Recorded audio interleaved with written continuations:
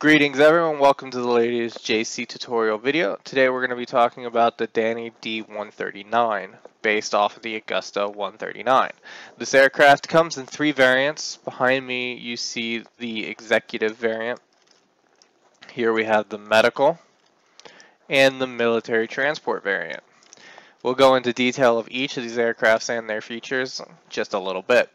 The Dani 139 weighs in at 66, 63, or 73 prims, depending on which variant you use, and either 960 or 1024 kilobytes of memory, depending on which variant you use. First, we're going to go ahead and talk about the executive variant. Executive variant is the very slim, streamlined version. It's meant for transporting people from A to B in a quick succession. But you have both the side doors that open and the two cockpit doors that open. Here we will see our executive approaching the aircraft and simply all they have to do is left click on any one of the seats in the back and they will sit on that seat. To get up, all they have to do is stand up and exit the aircraft. The executive version has seating for six in the back and one pilot and co-pilot up front.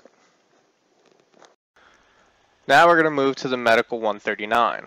The medical 139 has seats for three plus one on the stretcher. This seat here is for your in-flight doctor. He will have access to the medical instruments. The owner of the aircraft will be given a transfer folder, which you can hand out the defibrillators. And then we're going to have our executive climb onto the backboard.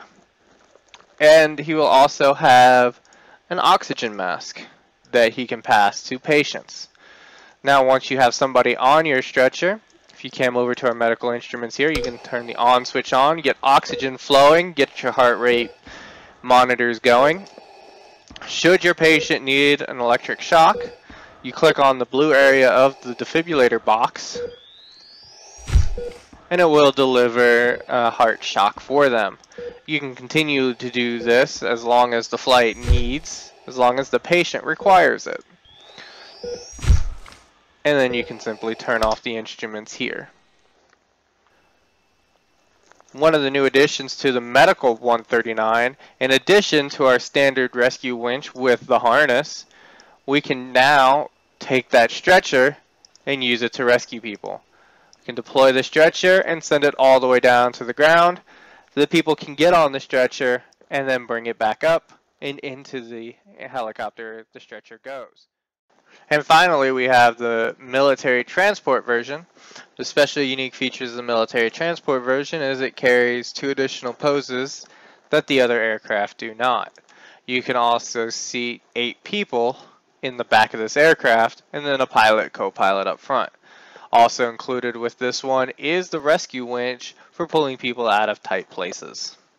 So now that we've covered the uniqueness of the three variants, we're going to go ahead and go through the startup shutdown process using the HUD and both mouse look. Now, the variants do not matter. The startup and shutdown process is exactly the same across all three. All the controls are exactly the same. We're just using the medical version because that's what we're going to go take out and fly here in a little bit. So we're going to go into mouse look mode first. Down here we have our fuel. This is fuel off. This is fuel on. This is your fuel gauge here to tell you how much fuel you have left. These are your flight indications right here. You have the same ones across the bottom of your HUD. This is your brake lever, brake on, brake off, and this is your gear. So we're going to come up here and go into the starting sequence. This is your master switch on, and then your battery switch. Once your battery is on, you can see your battery level located back here come back up here. This is for your hover text display at the back of the aircraft. That's this here. We're going to go ahead and turn that back off because it's not needed. And this is your GPU. We don't have low enough battery yet to turn our GPU on. So now that we have our battery on, this is your engine start sequence right here. Flip those on and it'll go through the startup process.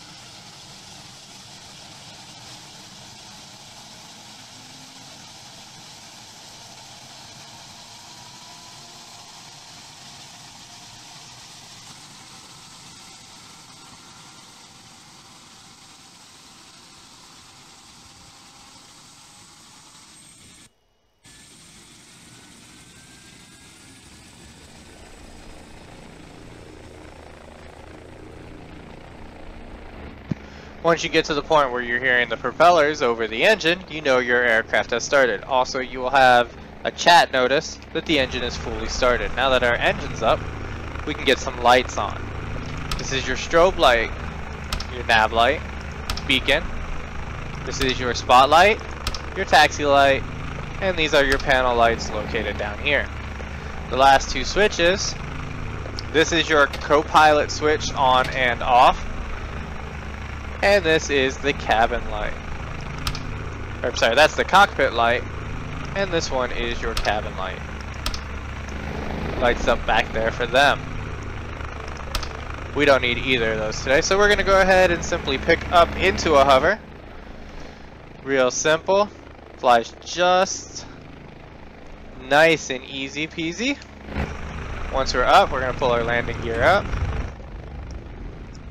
See as our landing gear retracts. And then we'll put our landing gear back down. And down comes the landing gear, and then we're going to go ahead and descend back into a landing. Now that we're back on the ground, we're going to go ahead and shut down. It's very simple. You can just turn your engine switches here. And the engine shutdown process will begin.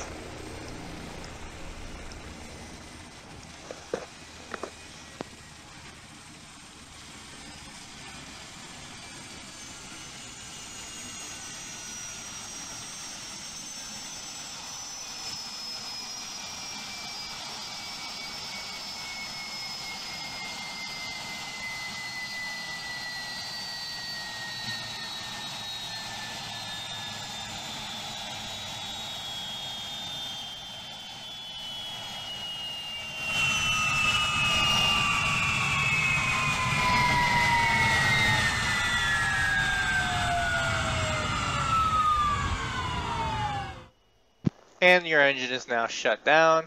You can go through and shut all your lights off, or you can just flip the battery and the master switch. And then everything shuts down. That's how you start and stop the aircraft in mouse look mode. Now we're going to go ahead and do the same thing using only the HUD. This first switch here is our ground power, and then our battery. And this switch here will start your engine. But first we're going to go ahead and throw on our GPU, which requires our brakes. So this is your brake. Here's your GPU started. And now we're going to go ahead and start the engine.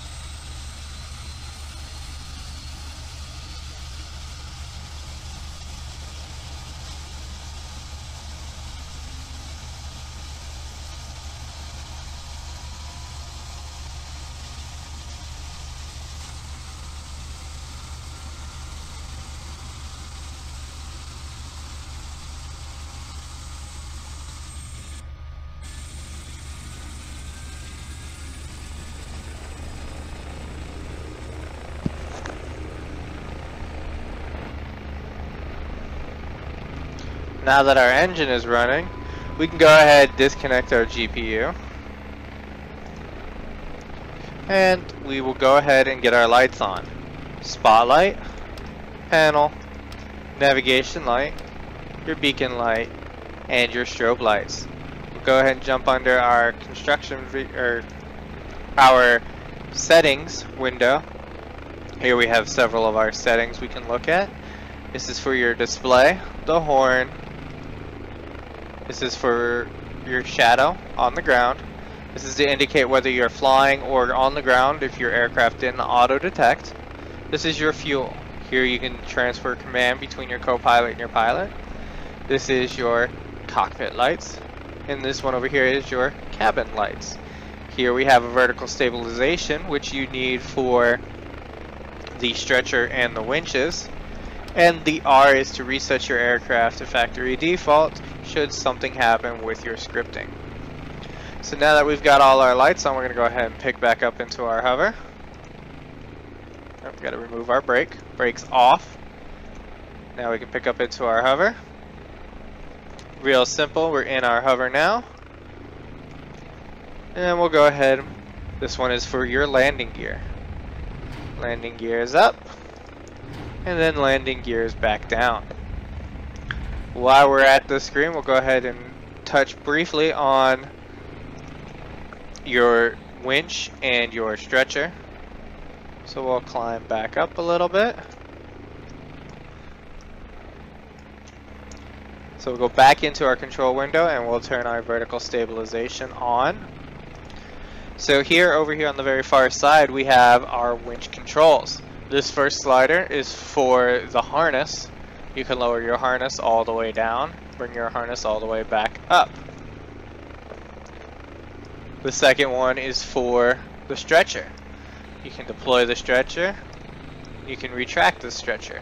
Now, these buttons on the top and the bottom do both. You can send the stretcher and the harness down at the same time, and you can bring the stretcher and the harness up at the same time. Now, one of the cool new features about the 139 is the automatic deploy of your floats should your aircraft come in contact with water. So we're going to go ahead and come down as if we're contacting the water for an emergency landing. And out pop our floats. Now, if you're in a res zone, the floats will fall off as you take off and fly away. If you're not, they just disappear.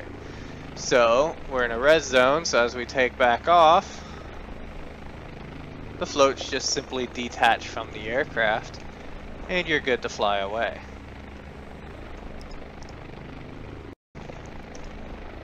Should your 139 require fuel, there are a few steps you must follow. First, on the inside, your fuel usage must be turned on. And you must not be at full fuel. As you can see here, we're less than full fuel, and our fuel gauge is turned on. So we're gonna go fly right over here to this Dani pump.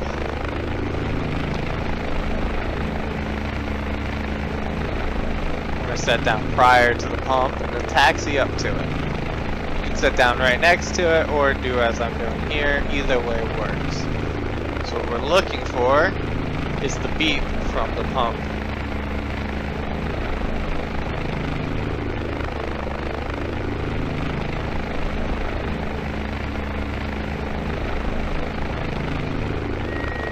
That beep right there tells us that we are in range of the pump.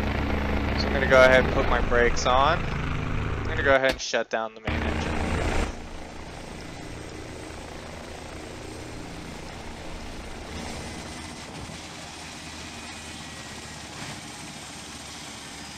Now while the engine is cooling down, we're going to come over here and click on the power indicator. Once the power is on, give it a second to start up.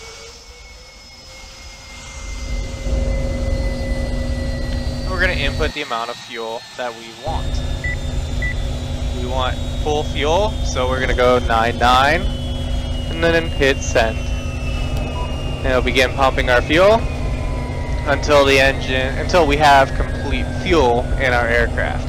It's not going to send 99 units of fuel, but it'll max out our aircraft.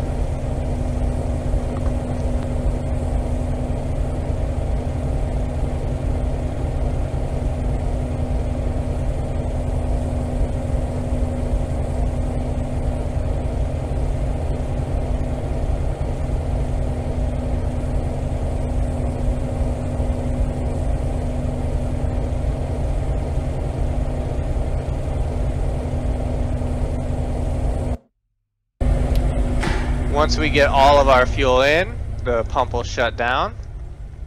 We can come back inside our aircraft and start the engines again. See our fuel gauge is now back to maximum fuel.